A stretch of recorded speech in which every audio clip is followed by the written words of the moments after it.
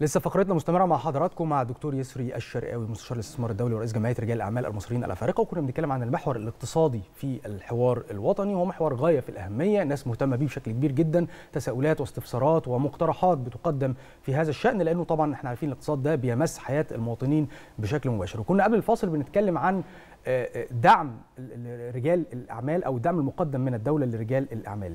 هل حضرتك شايف إن الدولة محتاجة تدي مزيدا من الدعم والمحفزات لرجال الصناعة عشان يشاركوا ولا هذا التوقيت مش بتاع الدعم من الدولة؟ هو فقط محتاج تكاتف من رجال الأعمال مع الدولة حتى نعدي نعبر هذه المرحلة وبعد كده نبتدي نتكلم في الدعم المقدم طيب الدولة خليني هنا أقف عند جزئية مهمة جدا وجديدة شوية إنه فكرة إن مصر بتقدم دعم هي بتقدم دعم.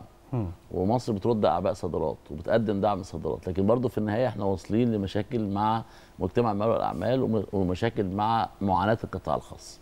يعني فكرة الدعم. طب ما تيجي نغير شوية ونقول حاجة مهمة جدا. الدعم أنت ممكن تديه للقطاع الخاص مش لازم يكون دعم مادي. لكن لما تنهي له المشكلات بسرعة لما تخلص له التراخيص بسرعة لما ت... لما زي ما حصل بقى بدأنا نفكر وده بدأ نشتغل عليه مؤخرا الرخصة الذهبية والكلام ده لازم يت... لازم الذهبية دي 15 واحد أو 20 واحد أو 30 رخصة. أنا عايزها تبقى 3000 واحد وعايزها تبقى 4000 واحد. ال fast track والحاجات السريعة. أنا بعتبر ده أنا شخصيا جزء كبير جدا من الدعم اللي هو معطل كتير جدا في التعامل القطاع الخاص. يعني لو قعدنا مع مجتمع القطاع الخاص وده بنقعد ده بشغلنا ك وأنا بصفة رئيس جمعية رجال الاعمال المصريين الافارقه بقعد كل يوم مع مجتمع ده لجنة صناعة وفي لجان أخرى أنا عضو في جمعيات أخرى لكن القضية كلها إنه حاول تسرع لي البيروقراطية وتنهيها تنهيها لي. الإجراءات البنكية ومحاوله إنهاء الرقمنة والحوكمة والشفافية في التعامل السريع إنجاز المعاملات سرعة إنهاء الأعمال عشان أقدر أدخل التنافسية. ادعمني في الخروج في التسويق الخارجي ادعمني في الخروج في ال ال إن أنا أبدأ أبعت عيناتي بسرعة. يعني كل دي حاجات بالنسبة لي أنا ربما تكون أوجه الدعم محتاجة مزيدا من إلقاء الضوء ومزيدا من العمل عليها بشكل أسرع وبشكل أفضل. لأنه اوريدي مصر لو أنت متابع كويس جدا وكلنا متابعين ما أنا بقدم بقالي كام سنة أعباء ورد أعباء صادرات ودعم طب النتائج مش طالعة بش... ولسه عندنا تحديات وعندنا مشاكل والناس بتشتكي ليه؟ أنا شايف إن في وجهة نظري تعدد أشكال الدعم وتعدد أوجه الدعم اللي مش بالضرورة يكون دعم مادي أو كده انهي لي مشكلة الأراضي الصناعية انهي لي مشكلة ضريبة العقارية على الأراضي الصناعية بشكل يعني بعيد الأمد شوية. ما تضغطش عليا كتير جدا في إن أنا في طريقة الاستيراد والتصدير التصدير للخدمات بتاعتي والسلع الأولية. ده جزء. في المقابل أنا كمان مجتمع المال والاعمال انهم لو افترضنا إن هم 100 واحد أو 200 واحد فرد يعني كمثال برضه لازم يبقى عندنا 80 90% عندهم حسن استغلال هذا الدعم. وحسن التعامل معاه وحسن التوجه بوطنية إلى ما تحتاجه الدولة. يبقى إحنا الاثنين لازم نبدا نشتغلها. يعني مش هديك حاجات على حساب حاجات. يعني أنا ما عنديش 20 30 واحد هو عايز ياخد دعم وعايز يعمل مش عارف إيه وكل حاجة هو عايزها في المقابل إن هو مش عارف يحافظ على عماله مش عارف يفتح فرص عمل أكتر مش عارف يفتح على موظفينه بيسيب فلوسه بره بيصدر بضاعة وخليه فلوس, فلوس بره ما تجيش. يعني خلينا نحسبها ان أنت لما هتعمل كده وأنا هعمل كده وانت هتعمل كده في النهاية مش هنوصل لحلول. يعني وبالتالي يعني إحنا زي ما بنقول إيه بنطلع بعثات تجارية لأفريقيا من بقالنا 40 50 سنة. طب ليه ما حققناش نتائج بمستوى أوسع من كده؟ لأن لازم نغير مش مش نوقف البعثات نغير الطريقة نغير الآلية نغير منهجية التعامل مع المجتمع الأفريقي نغير كذا. فلازم أنا مش ضد إن أنت تلغي ملف قديم قد ما بقول لك في الحوار الوطني هات الملف ده وعيد صياغته واضيف ليه مجموعة من الأفكار والحزم الجديدة بشكل يعالج الدفوهات أو الأخطاء اللي موجودة حتى تستطيع أن تحصل على نتائج يعني في قاعدة مشهورة جدا ليس بنفس المعطيات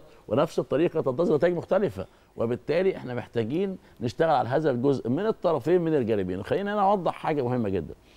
أضلاع المثلث ثلاثة. الرجل الأعمال أو القطاع الخاص أو السوق القطاع الخاص اللي هو بيمثل 24 مليون النهارده عاملين في القطاع الخاص و6 مليون عاملين في الدولة إجمالي سوق العمل في مصر. فده جزء والدولة والحكومة والمواطن.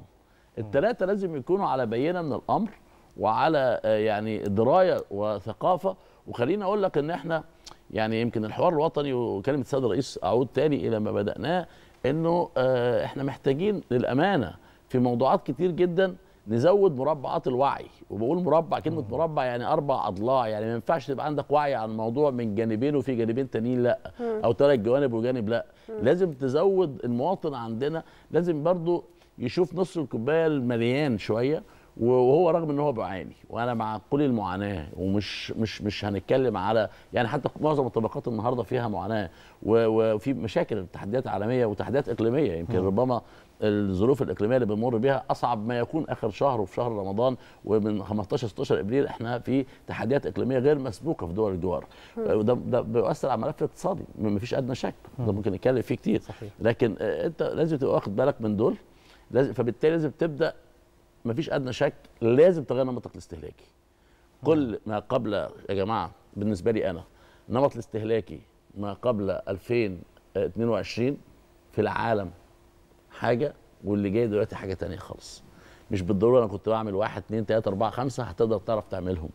لازم تحاول ت adapt يعني تأقلم نفسك إن في أمور معينة محتاجة إعادة تنظيم النمط الاستهلاكي. في نفس الوقت في تاجر وسيط بين القطاع الخاص اللي بينتج سواء في الزراعة أو في الصناعة أو في الإنتاج الحيواني أو الامن الغذائي أو الملابس whatever وما بين ال- ال- المستهلك الأخير. برضه يحاول بقدر المستطاع يتخلى عن منظومة الخوف من بكرة ويتخلى عن السلوك في التجارة المختلف أو ال- الخارج عن إطار المألوف في نسب الربحية. وما نخشش في منظومة جشع التجار صعبة جدا.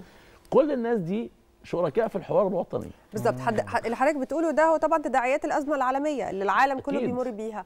النهارده إحنا نقدر نستفيد إزاي بالحوار الوطني ان إحنا نطلع بمخرجات آه، تفيدنا ان إحنا آه، نخفف عن الأعباء يمكن على المواطن أو تقلل من حدة هذه الأزمة؟ هو شوفي آه، مخرجات الحوار الوطني زي ما اتفقنا إنه لازم أول حاجة هو عايز يشعر المواطن يشعر بأنه آه، معدلات البطالة نزلت وبالتالي في فرص موجودة عشان ابنه يشتغل وزوجته تشتغل وهو يشتغل وبالتالي نحسه على العمل يبقى في فرص عمل جيدة جدا. ده واحد من أهم المخرجات عشان يبقى عنده دخل. الأمر الثاني مهما نحاول نظبط العلاقة ما بين دخله وما بين الأسعار المتداولة في السوق ودي عملية مواجهة التضخم اللي إحنا بنتكلم عليها اللي الدولة بتحاول تواجهها. مواجهة التضخم لها أكتر من طريقة في المتعلقة بالسياسة النقدية وبيشتغل عليها البنك المركزي بطريقة أو بأخرى وفقا للظروف اللي إحنا موجودين فيها ووفقا لحالتنا لأن برضو في نقطة مهمة جدا. تتفقي أو تختلفي معايا إن البنك المركزي والدولة والحكومة بتشتغل على ما يسمى بالاقتصاد الرسمي. طب والاقتصاد الغير رسمي اللي راح جاب ذهب بسبعة طن في شهر. ما هو هي الفكرة كلها برضو إحنا شركاء في هذه الوطن والمخرجات المنتظرينها منتظرينها بأسباب إحنا لازم نكون بنؤثر شركاء على فيها. معدل التضخم. طبعا.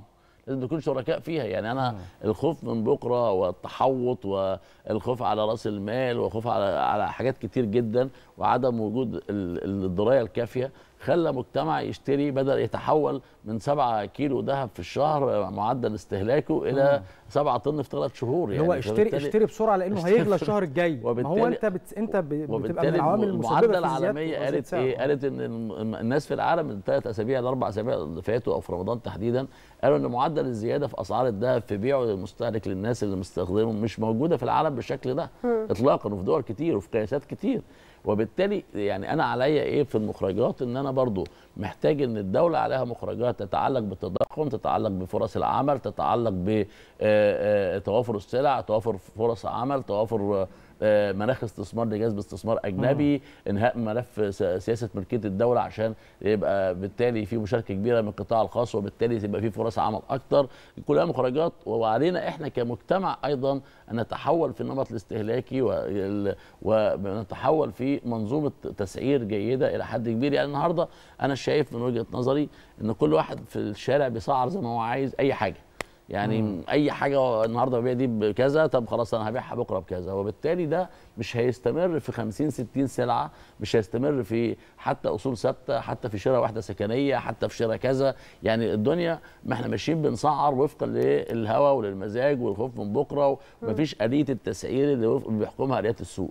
وفي نفس الوقت برضو آه، يعني أنا ستيل ما شفتش في وسط الغلاء اللي حصل في السنة اللي فاتت دي ما أعرفش أنتوا مواطنين بقى قبل ما تبقوا اعلاميين يعني إحنا كنا إحنا مش مواطنين. مستثمرين لا إحنا مواطنين. لا آه مواطنين إحنا كمواطنين ما سمعناش مثلا عن campaign معينة إن إحنا قطعنا البيض أو اللحوم أو في حاجة معينة أسبوع ما عملناش. يعني نفسي كنت ما شفتش أنا في مصر في, في أي وقت بقى لي إحنا إحنا بن يعني الس- ال sound أو ال- ال- الصيغة بتاعت الغلاء بقى لها فترة وده حقيقة. يعني ما حدش يقدر ينكر يعني ما بنقولش إن حد بيدعي.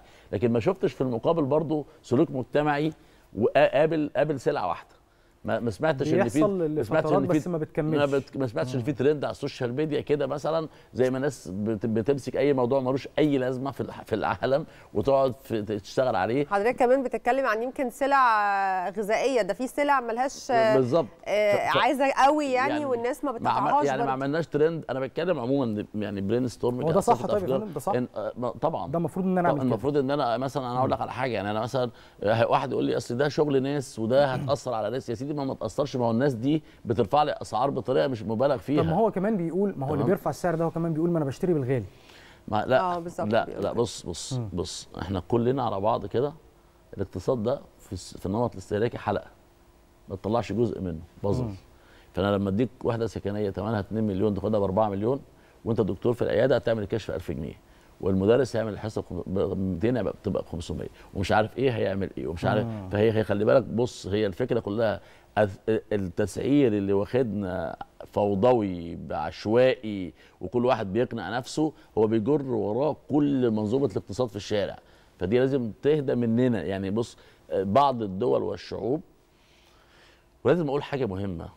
آه في عندك جزء يتعلق بالحكومة يتعلق بسياسات يتعلق ب أنا مش في المطبخ قوي وفي أداء بنقول عليه جيد أحيانا وفي أداء بيحتاج إلى إعادة تصويب.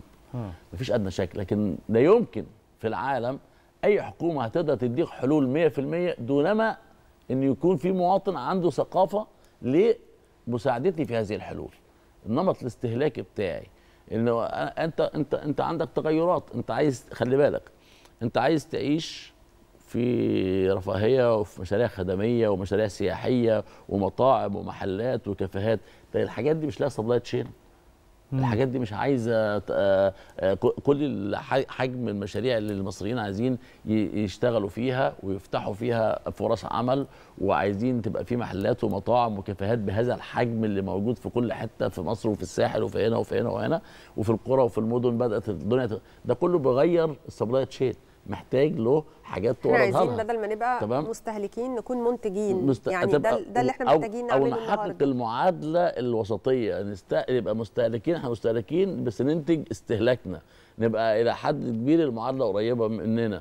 لكن أنا ما شفتش مثلا آه، طلعنا في سلعة استفزازية حتى وعملنا فيها مثلا مقاطعة أو عملنا فيها صحيح. campaign على ال social media. ما فيش غير حملة واحدة تمت من ثلاث سنين كانت على السيارات. على العربيات ونتفق على كده. وك- وعلى فكرة يعني إلى حد كبير عملت عمليه أدبت شوية في السوق مع بعض الناس وبعض التجار. محتاجين تاني، في آه. حاجات م- يعني أنا رأيي الشخصي مش مسألة إن أنا بقول لأ أو ب- ب- ب- بدعو السوق للتمرد لكن بقول يا جماعة خلونا نوصل في بعض الأمور الاستفزازية. يعني ما فيش أدنى شك ما حدش يطلع يقول لي برضه في الناحية الثانية ما هو فساتين الأفراح ديت شغل ناس. أيوه هي شغل ناس بس الناس دي ما تبالغش في الأسعار.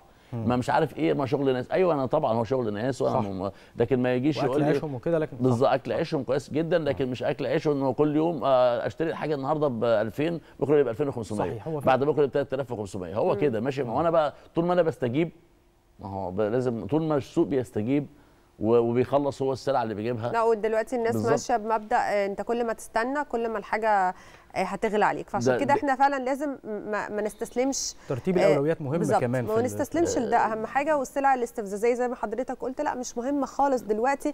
لازم آه، آه، نحط في أولوياتنا كده. أنا زي ما كان شاذلي بيقول نرتب أولوياتنا ونشوف إحنا محتاجين إيه دلوقتي ونعمله إيه اللي مش محتاجينه. ملوش لازمة لأن العالم كله قبل 2022 استهلاكه كان بشكل بعده وطبعا بسبب تداعيات الأزمة العالمية استهلاك بقى مختلف تماما.